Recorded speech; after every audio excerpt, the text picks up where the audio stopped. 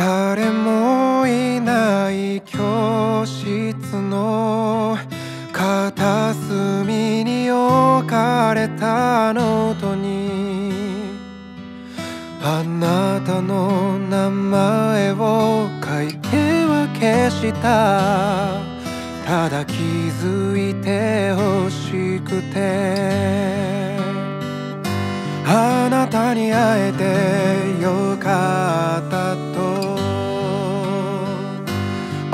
なたの前で言えたなら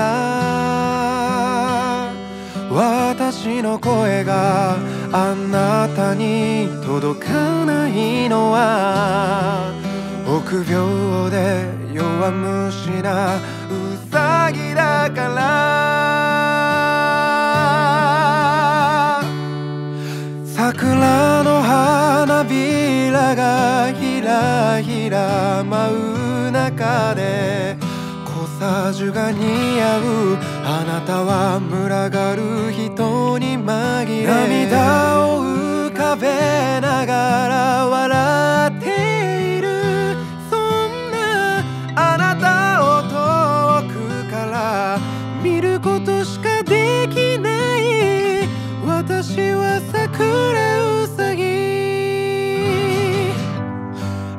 明日になればこの気持ちは消えてしまってるのかな。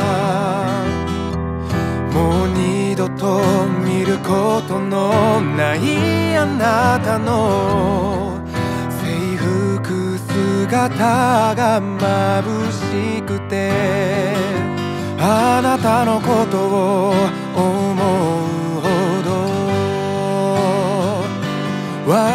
の顔が熱くなる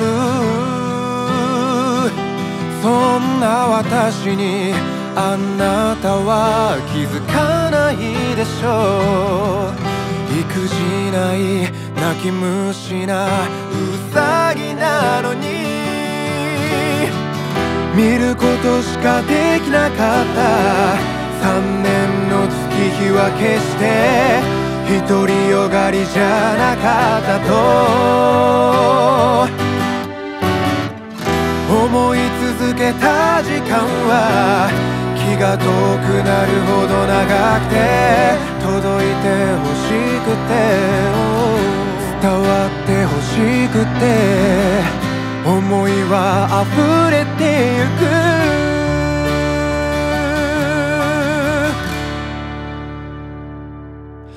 桜の花びらがひらひら散った頃あなたに思いを伝えようと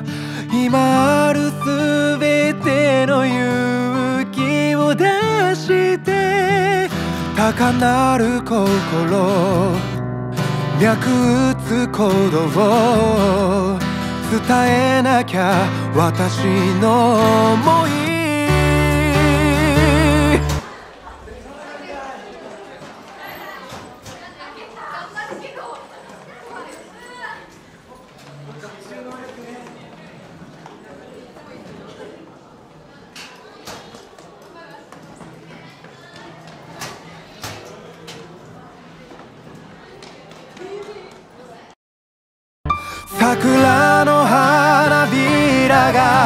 風に乗って運ばれて私とあなたの髪がなびく。